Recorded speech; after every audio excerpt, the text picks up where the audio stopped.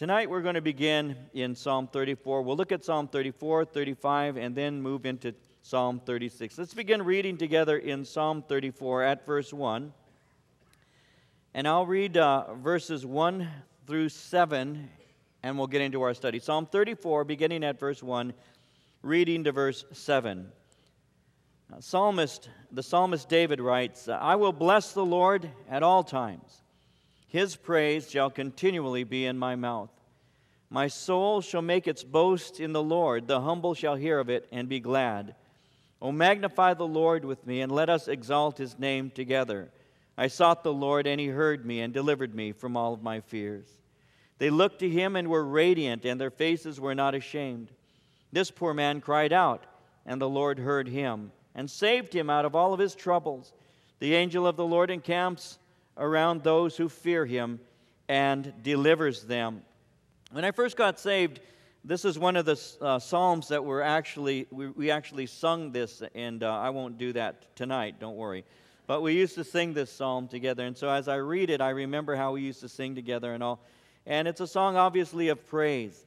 And, and in this psalm, uh, David is calling God's people to exalt and to worship the Lord. And I want you to notice what he says here. It's, a, it's an important point. Notice what he says when he says, I will bless the Lord at all times. And so, what he's saying here is that praise for God should continually be pouring out of our hearts to the Lord. He's, he's saying, God, I am so grateful to you because you have saved me, and I, and I praise you for that. But it's not only me. When he says, I will bless the Lord at all times, it's not only me, because in verse 2 he says, My soul shall make its boast in the Lord. The humble shall hear of it and be glad. Magnify the Lord with me. Let us exalt his name together. Not only am I going to worship the Lord myself because of what he has done for me, but I want to encourage, he's saying, other people to do the same thing. I will praise the Lord. His praise shall continually be in my mouth. But I don't want to praise him by myself. So I encourage you to, to, to glory in the Lord and to praise him. And I want you to notice that because he says in verse 2 My soul shall make its boast in the Lord, the humble shall hear thereof and be glad. I'm not boasting in what I have accomplished. I'm not boasting in the fact that I am a very spiritual man, David would be saying. He's saying, as a matter of fact, if I make a boast at all, it's going to be in the Lord. Now that's what Paul said in 2 Corinthians chapter 10 verse 17 when he said he who glories let him glory in the Lord. And so he's pointing out that the humble depending on God and worshiping him will, will also rejoice alongside of him. So he's calling people together to worship the Lord. Psalm 22 verse 22 I will declare your name to my brethren in the midst of the assembly I will praise you. And so my praise is going to be open to the Lord. Not only am I going to praise the Lord, he is saying, but I'm inviting everybody else to praise him too. Why? Because God is worthy to be praised. That's why. And because the Lord is so, so good. In verse 4, he says, I sought the Lord, and he heard me and delivered me from all of my fears. They looked to him and were radiant. Their faces were not ashamed. This poor man cried out, and the Lord heard him and saved him out of all of his troubles. The angel of the Lord encamps all around those who fear him and delivers them. So, in my time of fear, in my time of anxiety, I cried out to the Lord for deliverance, and God has heard my cry. And not only that, but, but God's people should all understand that they will not be put to shame if they put their trust in Him. As a matter of fact, they're going to radiate with joy and they're going to radiate with confidence. The Bible tells us in Proverbs 15, verse 13, a merry heart makes a cheerful countenance, but by sorrow of the heart the spirit is broken. When the Lord is working in your heart, it has a way of working out in your countenance, and that's the point he's making. He says they're going to be radiant. There's going to be something about them that is very attractive. I remember when I first got saved, and it's true to this day. When you would encounter somebody who knew the Lord, there was just something about that person that was different. When you encountered somebody who knew the Lord, there was just something about them that was different. They radiate the things of the Lord. And so we ought to ask the Lord if there's joy in our heart, may it work its way out to our faith. And may people realize that we actually do have joy that comes from Him. He speaks in verses 7 through 10, picking up at verse 7 The angel of the Lord encamps all around those who fear Him and delivers them. Oh, taste and see that the Lord is good. Blessed is the man who trusts in Him. Oh, fear the Lord, you his saints. There is no want to those who fear him. Young lions lack and suffer and suffer hunger, but those who seek the Lord shall not lack any good thing. God is going to provide divine protection for those who fear him. That's what it means in verse 7 when it says, The angel of the Lord encamps all around those who fear him and delivers them. There's an interesting story found in the book of Acts, chapter 12. I'd like to cross reference this verse, verse 7, with that by turning you there. Would you turn with me for just a moment to Acts chapter 12? I want to remind you of a story found in that particular uh, portion of Scripture that can help us to understand a portion of what is being said here when he speaks of the angel of the Lord encamping about the righteous and delivering them. Chapter 12, we have an interesting story. We know that Herod had stretched out his hand, the king, and had stretched out his hand and uh, actually killed James, the brother of John, with the sword. And uh, it says in verse 3 here in, in uh, Acts 12, uh, because he saw that it pleased the Jews, he proceeded further to seize Peter also. It was during the day of unleavened bread. So when he had apprehended him, put him in prison, and delivered him to four squads of soldiers to keep him, intending to bring him before the people after Passover. Peter was therefore kept in prison, but constant prayer was offered to God for him by the church.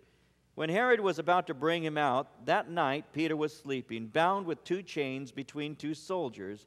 The guards before the door were keeping the prison. Now, behold, an angel of the Lord stood by him, and a light shone in the prison. And he struck Peter on the side and raised him up, saying, Arise quickly.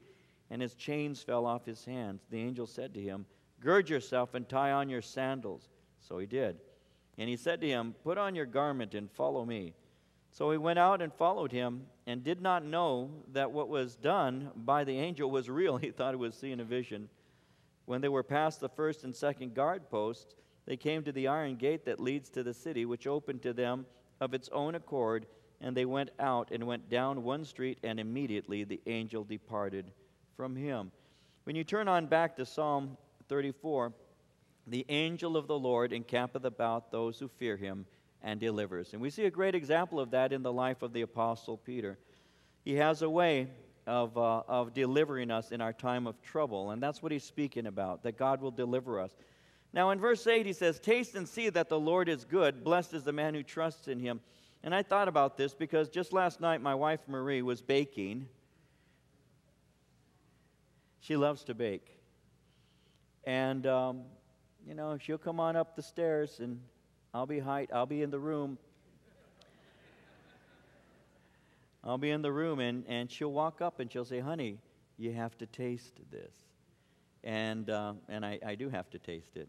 Because if I, if I, if I don't, I won't be fed again for the rest of my life. So I do. Actually, she's very good. I shouldn't tease her. I, I just love the way my wife cooks, of course. And, and that, I thought about that. I said, you know, I thought, even just before I came out, I was thinking, you know, how, how now, David says, Taste and see that the Lord is good. When there is something that you have that you really like, you have a way of handing it to somebody else and say, You got to taste this. This is so good. And you know, I found that to be very, very, to me, that was a, a very strong point because I'm thinking, that's exactly what it is. I mean, if you go someplace, and, and I'll tell you, um, you know, my wife, when we go out to eat, my, my wife will want to taste my food. You know, she wants she reaches over with a fork to taste and see because she'll see how much I'm enjoying it. So she wants to take from me what I enjoy. No, actually, she sees I'm enjoying it and she wants to taste of it. And there are times when I will say, I'll say, honey, you just have to taste this. This is so, so good. And normally it is, though on one occasion there was something on my plate that looked like a cream puff. You know, it was, it was puffy and it was filled with white, you know. So I, I, I just took a big old eh, piece of it, and, and, and it was not a cream puff at all. It was sourdough bread, and it had sour cream in it. And, I, and you know when you're thinking this is going to be sweet, and you eat it, and it's sour, you know, and, and, but what I did is I went, oh man, this is the sweetest cream puff I have ever tasted in my life. It is so good.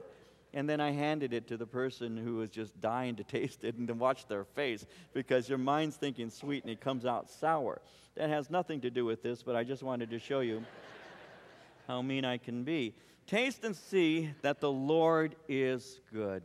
And when the Lord and you are, are when you're getting along with the Lord, you just want other people to experience God. It's an invitation that he's giving here. He's saying, God is good. How good is the Lord? Well, obviously, the answer is God is so good that he loved us so much that he gave us his son so that we might be with him forever. That's how good the Lord is. And he says, You need to taste of that yourself. In verses 9 and 10, when he says, Fear the Lord, you his saints, there is no want uh, to those who fear him. Uh, in other words, those who love and trust him will be provided for by him. That's what Jesus meant when he said, Seek ye first the kingdom of God and his righteousness, and all these things shall be added unto you. So he says there's no lack for those who love the Lord. Philippians 4:19 says, "My God shall supply all your need according to his riches in glory by Christ Jesus." Paul in Romans 8:32 said, "He who did not spare his own son, but delivered him up for us all, how shall he not with him also freely give us all things? So he's saying the Lord will provide for you. Verse 11 Come, you children, listen to me. I will teach you the fear of the Lord. Who is the man who desires life and loves many days that he may see good? Keep your tongue from evil, your lip from speaking guile. Depart from evil, do good, seek peace, and pursue it. How can I have a full life? Well, my life has to be given over to the Lord. What is it that I should do in order that I might be blessed? Well, he says, Fear the Lord. Because in the fear of the Lord, there is a promise of a godly life. As a matter of fact, when you have a fear of the Lord, God is going to bless your life. And we ought to understand that. We'll see that again, it's repeated, and I'll look at that a little closer in a, in a little while. But when he speaks here, it's, it's a point of, of, of teaching us how to live a life that is going to be blessed by God. Verse 13 says, Keep your tongue from evil, your lips from speaking guile. Depart from evil, do good, seek peace, and pursue it. So speak lovingly to people. Don't be a deceptive individual. Flee from evil, do good, and seek peace. In Hebrews 12 14, the Bible says, Pursue peace with all people and holiness, without which no one will see the Lord. Verse 15 The eyes of the Lord are on the righteous, and his ears are open to their cry. The face of the Lord is against those who do evil, to cut off the remembrance of them uh, from the earth. The righteous cry out, and the Lord hears and delivers them out of all of their troubles. The Lord is near to those who have a broken heart and saves such as have a contrite spirit.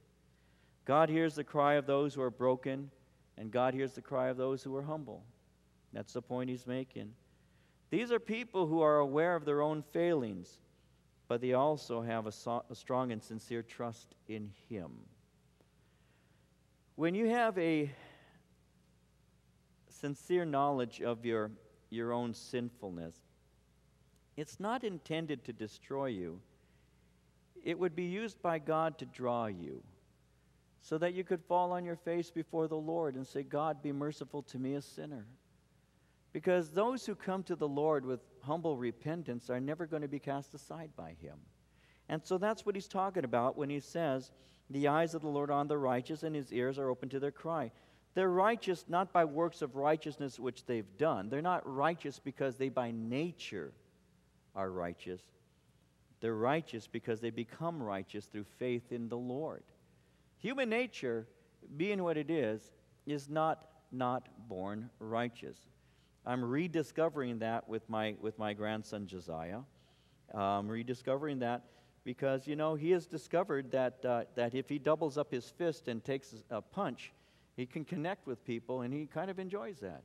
And uh, I, I, think that I think he's related to Raul more than me, but that's, you know, he kind of enjoys that, you know. And, and so we're having to teach him right now that, that it's not good, you know, to be hitting people and all of that.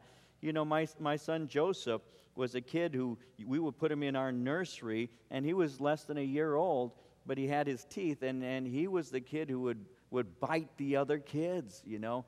And I can still remember a lady calling me up saying to me at my home, she said, We brought my little boy home tonight and we found a bite mark on his back, and I know Joseph bit him.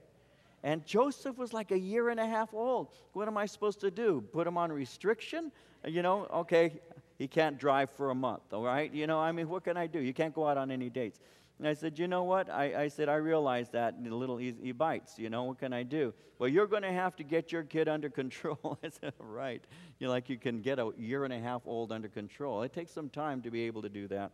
And so the duct tape did work for a while, but he learned how to take it off. It's in the nature, it's in human nature. We become righteous because we make choices to pursue the Lord, and God will, will uh, listen to us as we do so. In verse 17, the righteous cry out, the Lord hears, delivers them out of all their troubles. And the Lord is near to those who have a broken heart, save such as have a contrite spirit. And so to me, that has been a very, very dear, dear scripture. It reminds me of Psalm 147, verse 3 which says that God heals the brokenhearted and binds up their wounds. There's no doubt about that. The Lord has a, a, way of doing that. He indeed does that. He is near to those of a broken and contrite spirit. And perhaps I even have some tonight in this room who are going through a time of sorrow or pain. You know, and as you humbly take your concerns to the Lord, God has a way of not only hearing, but He has a way of, of, of, of binding up your wounds. God will do that. He does do that.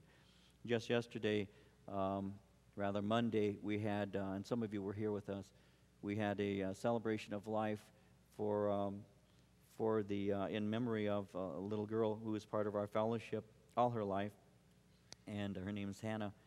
And, um, you know, she had eight years, eight years of life and died, uh, you know, in a, in a very sad way and all. And so we as the church gathered together here, and, and her, her mama and her dad, Susie, and, and Jerry, um, they've been in our church forever. I mean, I can remember taking our kids to Logan's Candy in Ontario when my children were, were small. And they would go and try out the candy there that Jerry was selling. And, and then we've known them. I, I'm trying to remember how many years, but it's got to be close, close to 20 years at least. You know, and so um, yes, uh, on Monday we had this this um, memorial service, and uh, and Jerry and Susie have have seen their daughter graduate. She's gone on to be with the Lord. And on the one hand, you have this sense of sorrow. Of course, it's your eight year old baby. There's a lot of things. Every parent here knows what I'm trying to say. There's a lot of things that you had when she was born that you had, you know, planned out. A lot of things. When you, when you hold your baby for the first time, uh, you don't expect to be handing her to the Lord eight years later. Uh, you always expect your children to outlive you. Uh, and that's the way we think it ought to be. And, and sometimes it's just not that way. Sometimes the Lord, uh, in His goodness, will, will take our, our child to be with Him. And as much as it hurts, uh, still the bottom line is, and this is what we kept hearing through Jerry and Susie and the, the testimonies, is, is um, there's not going to be an anger at God. There's not a doubting of the Lord. Uh, there's just a trust in Him. And God is near to those who have a broken heart. And there will be times of tears, and of course, there, there will be for some time, uh, but there's not tears of, of sorrow with, with no hope. We don't sorrow as those who have no hope. Uh, we have a hope in Jesus Christ. And, and what it is, it's a, a simple seeing one of our treasures being laid up in heaven that one day we'll receive again to ourselves, and we will see her, her again. And, and, and that is the hope that, that they had even as we were celebrating her life just this last week. Verse 19 Many are the afflictions of the righteous, but the Lord delivers him out of them all. He guards all his bones, not one of them is broken. Evil shall slay the wicked, and those who hate the righteous shall be condemned. The Lord redeems the soul of his servants, and none of those who trust in him shall be condemned. I find it interesting to note that he says in verse 19, Many are the afflictions of the righteous. And that's the absolute truth, and we know that we didn't take the easy way out when we came to the Lord. Believers go through extremely difficult times. And though we do go through those times, we go through those times. We don't stay in, in the point of affliction. The Lord has a way of delivering us. God brings us to ultimate safety. So, in the midst of trouble, we, we need not fear because God is with us every step of the way. Because ultimately, believers enter into heaven because God has redeemed us in Jesus Christ and we will arrive uh, at home safely. I remember hearing of a missionary, uh, uh, I'm sorry, a pastor who was giving a message, and his wife and his uh, daughters had gone on a, a trip. Uh, they were leaving from the point he was at, and they were going home. And so, as he was teaching on a Sunday morning as a guest speaker, somebody came to the platform as he was teaching and drew him aside for just a moment and spoke to him. And he came and stood behind the pulpit and he looked at the congregation and he said, I just received news that my wife and children arrived home safely. And he continued to give the message. And it was only at the end of the message that the people came to realize that his wife and children had actually died on, en route home. They had died on the way to the house. But he said, My children and my wife arrived home safely because he knew that their real home was heaven and it wasn't the location that they were temporarily residing in. That's the point that he's making here. And he's saying that the Lord has a way of delivering us out of those, those things. Even if we go through very hard times of affliction, we arrive at home safely. Now, Psalm 35, continuing, another psalm of David, beginning at verse 1. David writes, Plead my cause, O Lord, with those who strive with me. Fight against those who fight against me. Take hold of shield and buckler and stand up for my help. Also, draw out the spear and stop those who pursue me. Say to my soul, I am your salvation. And so, as we pick up in Psalm 35, we need to remember that King David, throughout his life, had many enemies who desired to harm him or harm to come to him.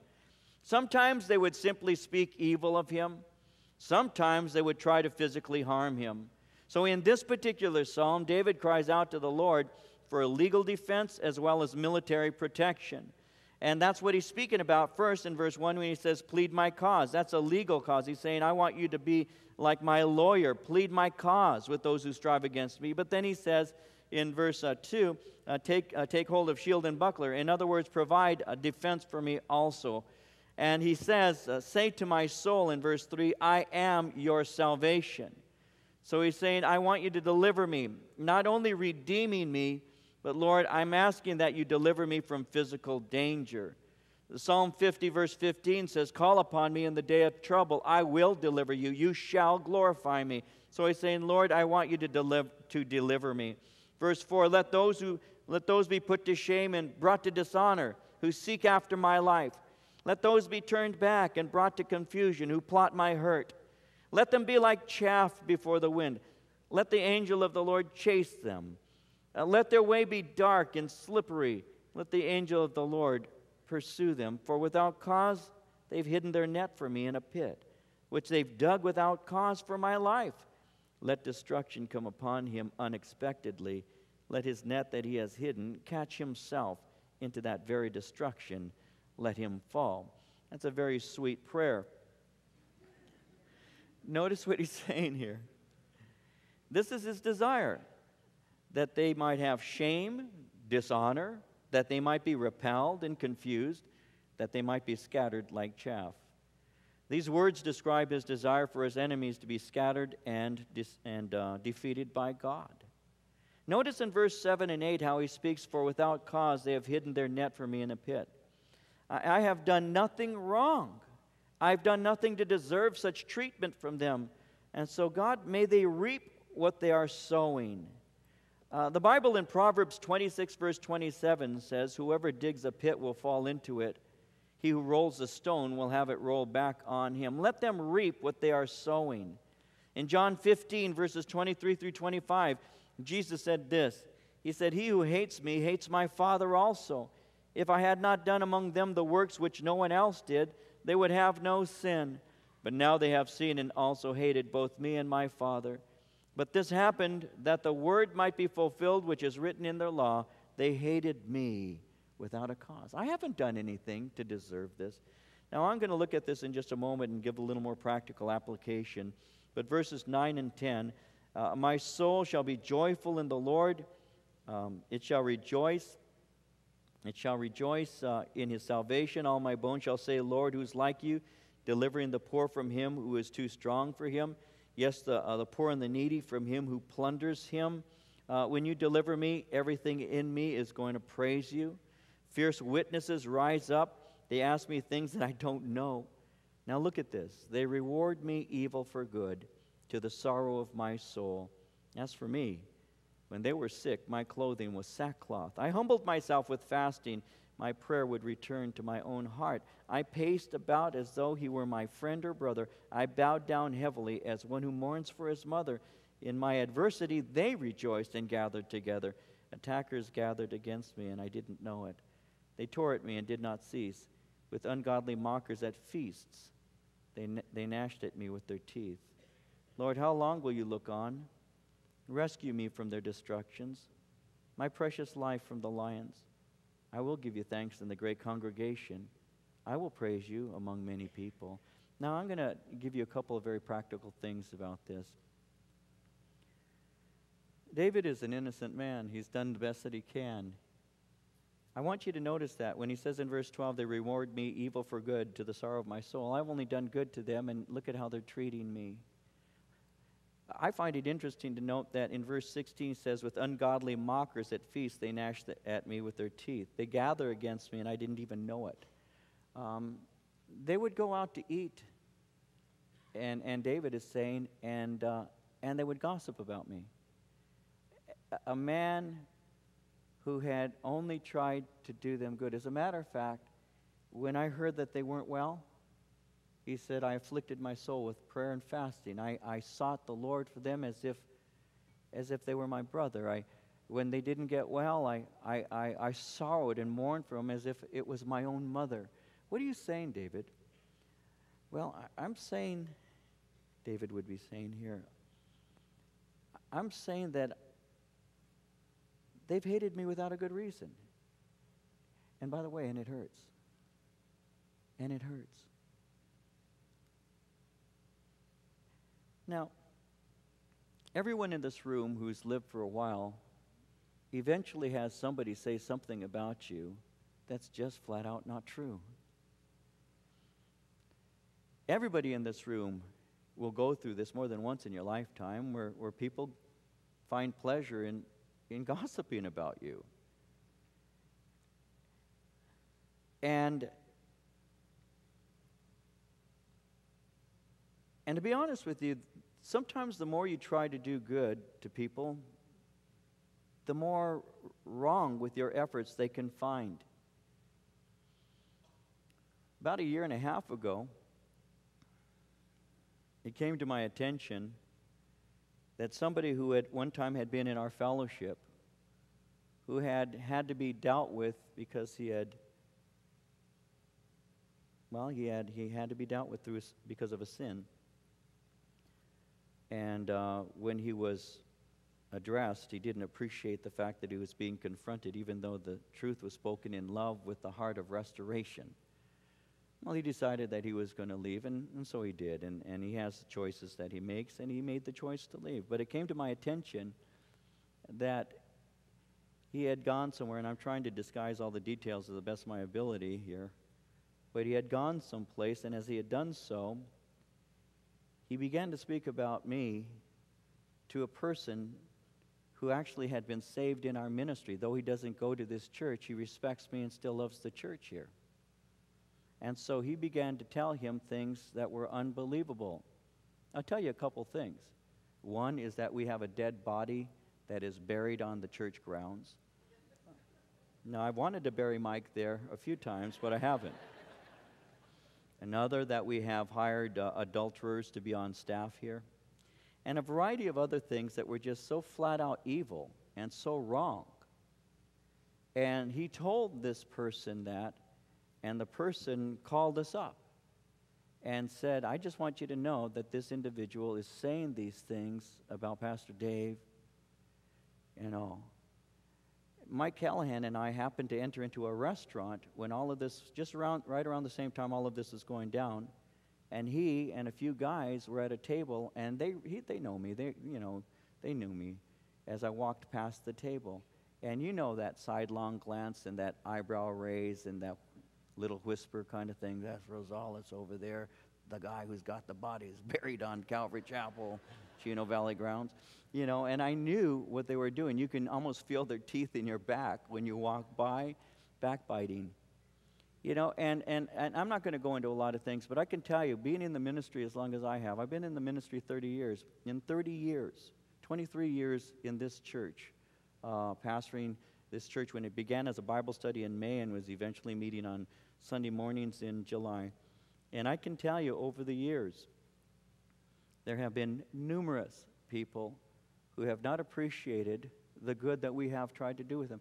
And, and instead of them saying, you know what, I can see and I appreciate, and, and, and, and all, they don't do that. I, I can tell you many times it's been exactly the opposite. And I won't go into any more stories, but there have been, there have been a history of them you know and so how do you respond to that well david is saying listen he's saying they go out and feast together and the main course is is is roast roast david you know they're they're they're just you know chewing my back up that's the point he's making and he's saying lord it's unfair it's just not right. I've done them good when there have been wrong things in their life. I've wept over them. I can tell you, as a minister, I've had people who have been seated across from me where I have honestly, I have wept for them, crying over their situation with tears in my eyes. And they have left only to angrily denounce me, this ministry, and, and uh, to gossip like you wouldn't believe it. I had a guy who, who, was telling people that I live in a five story house. I live in a mansion. You know, I take the money from the church. I had another guy who was saying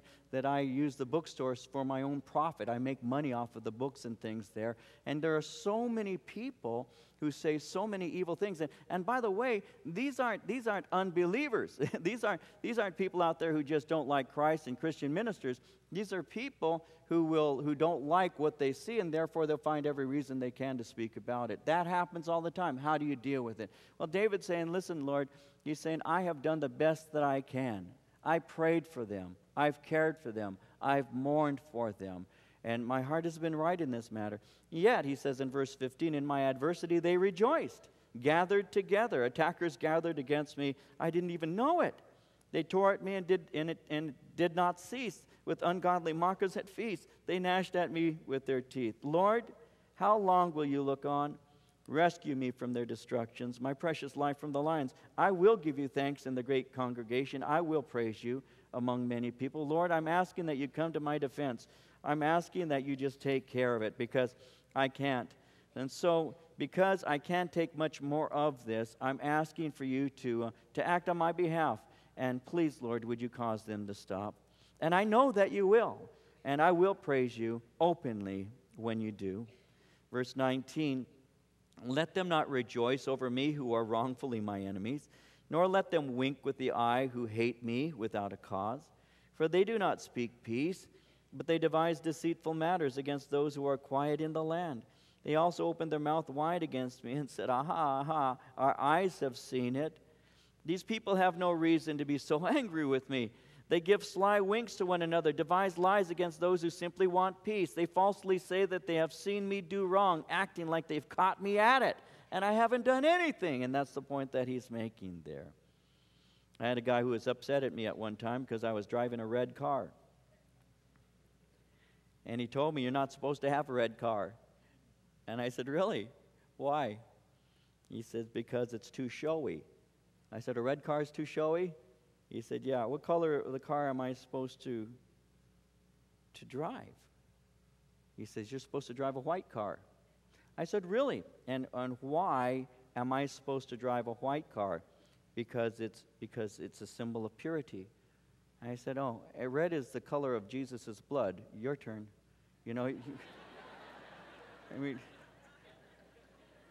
give me a break here. Anyway, I better move on. But they will act as if they've caught you doing something wrong. In verse 22, this you have seen, O Lord. Do not keep silence. O Lord, do not be far from me. Stir up yourself. Awake to my vindication, to my cause. O God and my Lord. Vindicate me, O Lord my God, according to your righteousness, and, and let them not rejoice over me. Let them not say in their hearts, Ah, so we would have it. Let them not say, We have swallowed him up. They're claiming they've seen me in sin. You see what they are really doing. So I'm asking you to rise to my defense and reveal that they are lying about me. Do not let them think that they're getting away with this either, Lord. Let them realize that they're not. Let them, verse 26, be ashamed and brought to mutual confusion who rejoice at my hurt. Let them be clothed with shame and dishonor who magnify themselves against me. In other words, when you vindicate me, it will put an end to their gloating. Let them shout for joy and be glad who favor my righteous cause. Let them say continually, Let the Lord be magnified who has pleasure in the prosperity of his servant. And my tongue shall speak of your righteousness and your praise all the day long. Uh, may those who are my friends rejoice with me when you come to my rescue. Now, Psalm 36. An oracle within my heart concerning the transgression of the wicked. There's no fear of God before his eyes, for he flatters himself in his own eyes when he finds out his iniquity and when he hates. The words of his mouth are wickedness and deceit. He has ceased to be wise and to do good. He devises wickedness on his bed. He sets himself in a way that is not good. He does not abhor or reject evil. And so he begins to speak concerning what those who don't know the Lord live like. Notice what he says. He's saying they soothe their own consciences, convincing themselves that they're not that bad. He says their speech is evil and deceptive because it reveals uh, their sinful nature. And he says that they constantly seek ways to do more evil and are committed to continuing in evil. Now, all of this is simply because they have no fear of God before their eyes. They do not fear the coming judgment. And I think that that's the key. As a matter of fact, uh, that is the absolute key to living a righteous life. There are many people, even believers, who have failed to cultivate the wisdom of having the fear of God. And those who don't know the Lord, it is stated throughout Scripture, especially in Romans chapter 3, but other places, that, that there is no fear of God in them. In other words, they think that they will get away with their sinful lives all of their lives. They'll die and then still go to heaven if there's such a place. And if there's no such place as heaven, then they're going to become uh, food for the worms, and it doesn't really matter after all. There is no ultimate judgment. In the eyes of many people, there is no ultimate judge. Everybody goes to heaven if there is such a place. We, ha- we live in a society right now that is absolutely bent on believing that. There's no doubt about it. And when I, as a pastor, when I, as a, a, a minister of the gospel, especially when I share uh, clearly on a Sunday morning when we have a large group of people here, and, uh, and very often, when I begin to clearly uh, t- say this is what God's word says in relation to, to being born again, the necessity of regeneration, and what happens if you refuse that invitation. And there are people who just refuse to believe it. They do not want to believe that they aren't that good. The average person that I encounter, even the worst of the worst, will say that they're not that bad. There are always people worse than them, and they think that God grades on the curve, that somehow they're going to make it in on their own merit. And unless you're as good as Jesus Christ, you're not going to make it in because God's standard is perfection. That's what the Word of God teaches, you see. So when that is stated, that's not a popular, popular thing to say today. As a matter of fact, there are many who, who have fallen into the trap, I believe, of tickling the ears of the listener because they are afraid to offend people. But I've discovered that sometimes the truth can be very offensive. Sometimes, sometimes it cuts to the heart. Sometimes it, it actually even hurts your feelings. And I've had, I, you know, m- you know, I'm old enough to have had more than one conversation where somebody says something about me that I don't want to believe is true, but, but I know in my heart of hearts that it is. You know, and the one person who has the ability to do that the easiest is my wife. Marie is very capable of saying, uh, You're wrong about that. You know, and oh, I'll, I'll argue hammer and tong. You know, I'll give her four reasons and, and even receive an offering. You know, I mean, come on now. You know, let's get to the conclusion and the application. What are you talking about? You know, but she's right, and she'll be right. And you know what? Sometimes I, I don't want to hear it because I would love to believe that I am better than I actually am. And if I'm capable of doing that, I guess the average person is too. And, and he's describing uh, this. And, and when, by the way, in verse 1, when he says, An oracle within my heart concerning the transgression of the wicked, he's saying, The Lord has laid something on my heart that I want to declare to you. This is a word from God. This concerns why people are the way that they are. There is no fear of God in them, therefore, they do not fear a coming judgment. They think they're going to get away with it. Proverbs 3 7 says, Do not be wise in your own eyes. Fear the Lord and depart from evil. Don't be wise in your own eyes. You have to fear the Lord, and the fear of the Lord is the beginning of wisdom. Jesus said this in Matthew 12, 36 and 37. He said, I say to you that every idle word men may speak, they will give account of it on the day of judgment, for by your words you will be justified, by your words you will be condemned. If you think, in other words, that the message of Christ, and this is what Jesus' context would be, if you think the message of Christ, the, my message of the gospel, the way you can be redeemed is valueless, if you think that you have a philosophy and a wisdom that is beyond that of God Himself, you will give an account of that in the day of judgment. You will explain yourself before God, as the point he's making, and say why you thought it was wise to attempt to enter into the kingdom of God in your own merit. And so he's speaking concerning these people who basically have no fear of God. In verse 5, Your mercy, O Lord, is in the heavens. Your faithfulness reaches to the clouds. Your righteousness is like the great mountains. Your judgments are a great deep. O Lord, you preserve man and beast.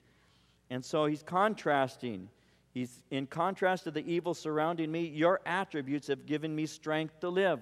You have given me your mercy. You are faithful. You are righteous. And, and you are just. And, and this all provides inner strength because your righteousness, uh, in that you provided for salvation to the sinner and judgment uh, to those who are uh, unwilling to come, is declared very clearly. And therefore, I have learned to trust you. When he says, How precious is your loving kindness, O God, therefore the children of men put their trust under the shadow of your wings. They are abundantly satisfied with the fullness of your house and you give them drink from the river of your pleasures, for with you is the fountain of life. In your light we see light. He's basically saying, You give life and you give light to those who are walking with you so that they might walk safely in this world. You protect them and you cause them to be able to experience the life that is abundant that comes through you. That's what he's saying in verse 8. They are abundantly satisfied with the fullness of your house. Jesus said, I have come to give you life and that more abundantly. I will give you an abundant life. I was talking to someone just the other day. They're making a decision that relates to uh, the car that they're driving. And I was talking to them. You know, I enjoy talking to young people like that. And I said, just be very careful when you buy your car. And they don't want to hear an old man talking to them about like that, but I, I do anyway. I said, be careful why is that? I said, be careful that you don't get caught up in an image. Be careful that you do not get caught up with the exterior. If I say to a young person, and I've got a few young people in here right now and some who think they're young. if I say to a young person, uh, what kind of car would you like? We'll say the person's in their early 20s. Oh, I would like, and you'll hear all kinds of cars. I'd like a, a Porsche. I'd like a, a, BMW. I'd like a Mercedes. I'd like a, you know, they, never say I'd like a Kia. they never do. Kia, Kia's a great car. It's got a hundred thousand, you know, mile guarantee on its powertrain. You know, Hyundai's are great cars. They're good cars. As a matter of fact, they've overtaken Toyota. They're a good car. But it's the image it's the image. They would rather, I, I can, I'll, I'll, make, I'll just bring this on home in a personal thing with my, my daughter Anna. I said, listen, hon, you've got X amount of dollars that you can spend on your car to get a car after her, her car had been totaled. I will buy you a tank next time, but um, I said, You got X amount of dollars, honey, and this is what you can look at. And I began to name some cars, and all of them within the same dollar price range. Man, if you say Kia or you say Hyundai, you know, no way, Dad, I'm going to get those cars. Why not? They're great cars. They're just not, uh, what? They're not cool, huh? They're not cool cars. Is that it? yeah, yeah. Image is everything, isn't it? Isn't it? And there are people, eh, might as well continue. I'm getting in trouble. I'll, I'll just continue. Um, there are people who are going broke for image, going broke for the image. They have the nice car, but they don't have a house because they're renting. But they got the nice car, and they can be 20, 30. I've spoken to people with 35, 40,000 dollars in credit card debt. You know, they're, they're living the style. They, they, they've got the outward appearance. And so when I was speaking to this young person the other day about the car, I said, listen, I said, Jesus Christ said this. He said, a man's life does not consist in the abundance of the things he possesses. He said it's the pagan who seeks after what he eats, what he drinks, and what he puts on. He said, If you seek the kingdom of God first, all of these things shall be added unto you.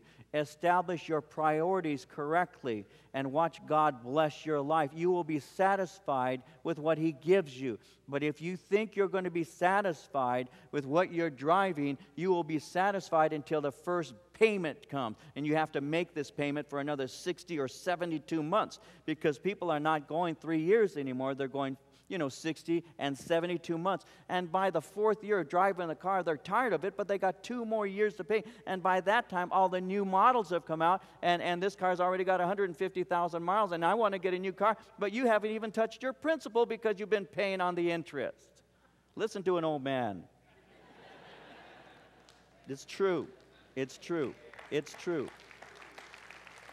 And so, so what if the car you know, has smoke signals as you're driving on down the street, you know. And I was, you know, and I was talking, I was saying, you know, because uh, this young person, I was saying, one day as you meet a young lady and you want to get married, you're going to enter into marriage with a debt that you can't service. You have to be wise that you lay your priorities down straight when you're young. Because if you're not, then you're going to enter into a debt service that you don't want to handle once you are married. Be careful because you see a lot of us oldies in this room remember what it's like when you first got you know together and you, you got married and, and you, you rented this cheesy little apartment and you had this just this this couch with the springs that would remind you that you needed a better couch you know? Marie and i our first couch cost us 10 bucks. And and you know and and and we put uh we put some cover over it and everything and and then we we had we didn't have anything other than each other and the Lord and that's all we needed. And and uh, today though the young people say listen I want to have this big old wedding you know and and and, and man the average cost of weddings are anywhere from thirty to fifty thousand dollars i want to have this great big wedding now and i want to have the reception i want to have the limousine i want to have all of this and then six months later they divorce and it makes no sense. It makes no sense. You know, and I've told my kids, listen, you've got a couple options. You want to get married, praise God, please do, and soon. But, you know, you got options. Either you can have the nice show or a nice uh, honeymoon. What do you want? You can have the big party and all your friends there. You see, because some of the kids getting married today think it's almost like a, a ticketed event you know, if I, if I get a lot of people, they're going to give me a lot of money. It's not a dollar dance anymore. It's a $10 dance. It's a $20 dance, you know? It's just, it's almost a money making operation. They're just losing sight of what, what it's all about. Am I talking to myself? I don't think so. You know, it's a money making operation, you know, and it's true. You got to watch out because you're losing sight of what's important. And we got to keep our eyes on the things that the Lord would have for us. And we need to understand that God will satisfy us. He is the one who abundantly satisfies us. And He says so in verse 8 They are abundantly satisfied with the fullness of your house. You give them drink from the river of your pleasures. So, what is it that you want? Well, for me, I want to drink of the water of life. I want to have life more abundantly, a quality of life that, that is not uh, predicated on what I drive, what I eat, where I live. I want it to be just the pleasure of the Lord. He says in verse 10 Continue your loving kindness to those who know you, your righteousness to the upright in heart. Let not the foot of pride come against me, and, and let not the hand of the wicked drive me away. Uh, there, there are, there the workers of iniquity have fallen, uh, they have been cast down and are not able to rise. And so he closes very briefly here by simply saying, uh, Continue to protect me so that my integrity will be preserved. You see, Lord, the proud and the wicked oppose me serving you. So please don't allow them to influence me. And may the kingdom of evil cease to exist, and may your kingdom reign on earth. And Lord, I'm asking, he's saying, that you would, that you would do this for your own pleasure. It reminds me of what Paul said in Romans 16:20 when he said, "The God of peace will crush Satan under your feet shortly." Lord, you rule, you reign. Do not let the wicked drive me away. O Lord, you cast them down. You rule, you reign, and you rule and reign through me. May I have the abundance that you provide, and may, may my joy and, and my priorities be centered on your kingdom.